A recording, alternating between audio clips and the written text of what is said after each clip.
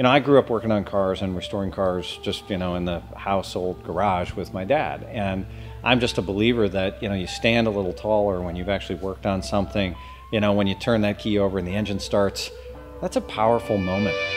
So this is a 1969 Camaro SS 396, three and a quarter horse, and uh, it is four-speed manual. It has a wide ratio Muncie M20 um, Muncie transmission.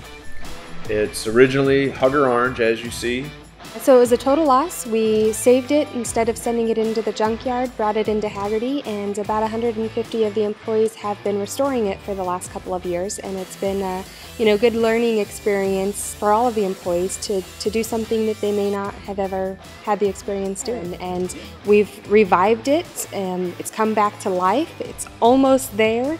Leading the employee restoration project has been David Rathgau, our internal parts specialist, and um, he has a, a, ton of knowledge on car restoration. I can't think of any other company that would let you restore a car, maybe with the exception of a restoration company. And the plan of it is to get this Camaro back on the road and, and see it drive again. And not only on the road, just driving around, but we're taking it on the Great Race.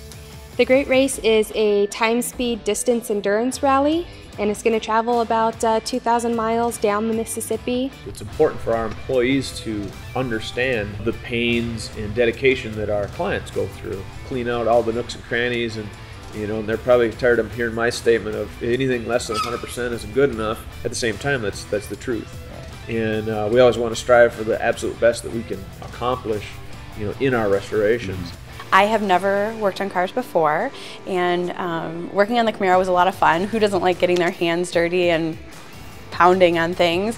Um, so it was a very new experience for me and one that I really, really enjoyed.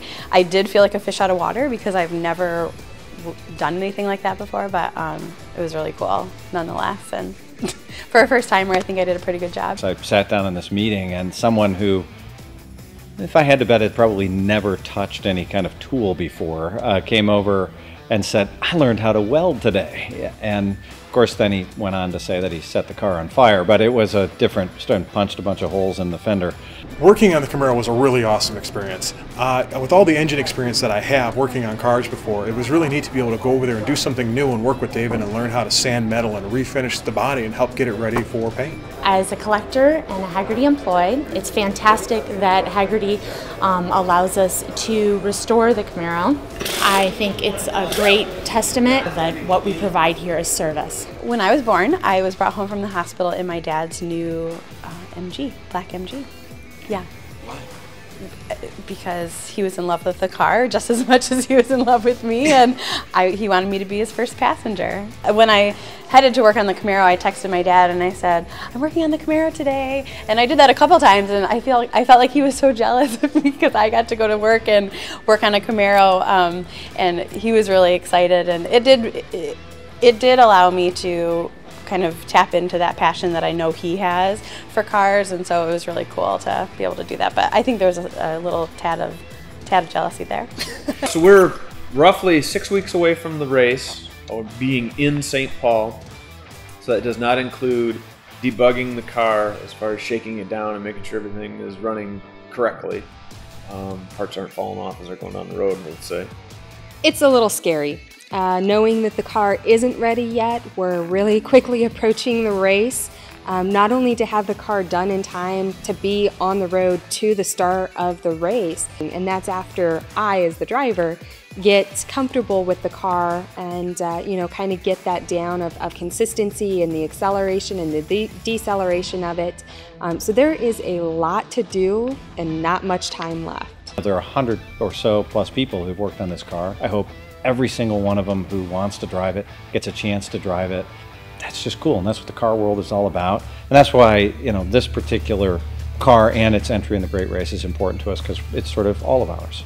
There's definitely a lot to be done on the Camaro before it's ready to go, but if anyone doubts that it's going to be finished in time or that Trisha and I are not going to be ready as a you know fairly novice team, my my second year on the race, Trisha's very first year, and we have plenty of hours in the day before the race, and if we have to be out there all around the clock, we will be, and we will be ready, and the car is going to be awesome. You can come out and see it, and we'll be kicking some ass. that part you probably won't want to. Go again.